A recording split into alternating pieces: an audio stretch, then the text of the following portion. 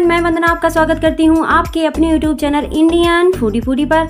आज मैं आपके लिए लेकर आई हूँ काले तिल और गुड़ की एक ऐसी रेसिपी जिसको खा के आपके बच्चे बोलेंगे, मम्मी, ये बहुत ही ज़्यादा टेस्टी है। तो देखिए, इस तरीके की मैंने आज काले तिल की गचक बनाई है। तो चलिए शुरू करते हैं इस रेसिपी को बनाना। इससे पहले आप मेरे चैनल इंडियन फूडी फूडी को सब्सक्राइब ज़रूर कर लें। काले तिल की गजक बनाने के लिए मैंने एक कटोरी काले तिल लिए हैं। अगर मेज़रमेंट देखा जाए तो ये 200 ग्राम तिल हैं और 200 ग्राम ये गुड़ है। उसी कटोरी के नाप आप गुड़ ले लीजिए। उसके अलावा मैंने चार इलायची लिए हैं। सबसे पहले हम काले तिल को भून लेंगे। कढ़ाई हमारी गर्म हो चुकी है। अब इसमें काले तिल हम डाल देंगे। और लगभग चार से पाँच मिनट तक खुशबू आने तक हम इसे भून लेंगे। तिल से अच्छी खुशबू आने लगी है और ये थोड़े फूले फूले भी हो गए हैं। अब इसी टाइम पर हम अपने गैस का फ्लेम ऑफ़ कर देंगे और इनको ठंडा कर कर पीस लेंगे। तिल हमारे पीस चुके हैं। तिल को हमें बिल्कुल बारीक नहीं पीसना है। इनको हमें दरदरा पीसना है। फ्लेम ऑन कर लिया है। अब इसमें हम ये जो गुड़ ली थी वो डाल देंगे। और इसी स्टेज पे एक चम्मच, देसी घी डाल देंगे। इसको मेल्ट होने देंगे। जब तक हमारी चाशनी तैयार हो रही है, उसी समय हम अपनी गजक को बेलने के लिए इस तरीके से किसी पत्थर पर और बेलन पर घी लगा लेंगे। ये देखिए, गुड़ हमारी अच्छे से मेल्ट हो रही है। इस स्टेज पे हमें कढ़ाई को बिल्कुल नहीं छोड़ना है। हर तरफ़ से चलाते हुए गुड़ को हमें इसी तरीके से मिक्स करना है।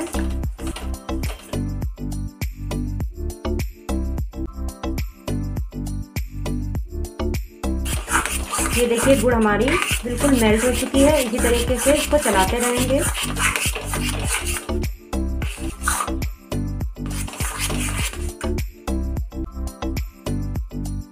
जब सारी गुड़ अच्छे से मेल्ट हो जाए तब हम इसमें डालेंगे टू पिंचेस खाने वाला सोडा तो अच्छे से मिक्स करेंगे। अब हमारी गुड़ का जो कलर है, वो चेंज होने लगेगा वाइट होने लगेगी। इस तरीके से पानी में डालकर चेक कर लेंगे। इस तरीके से देखेंगे जब हमारी गुड़ अच्छे से खट खट टूटने उसी समय हम गैस का फ्लेम बंद कर देंगे। और अपने जो तिल हमने पीस करके रखे थे।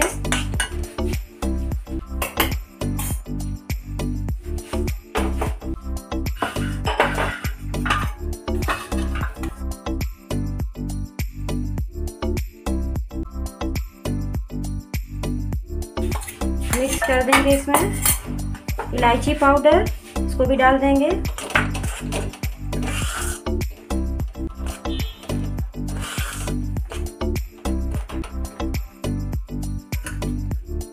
अब इसको इस तरीके से पत्थर पर रख लेंगे और इसको पतला बेलेंगे।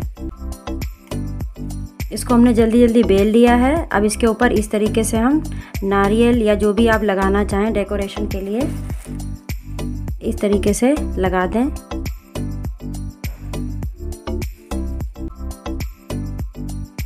अब इसको मन चाहे शेप में कट कर लेंगे। मैं इस मोल्ड से कट कर रही हूँ। ये देखिए मैंने इस शेप में इसको कट कर लिया है। अब इसी तरीके से सारी गजक कट कर लेंगे।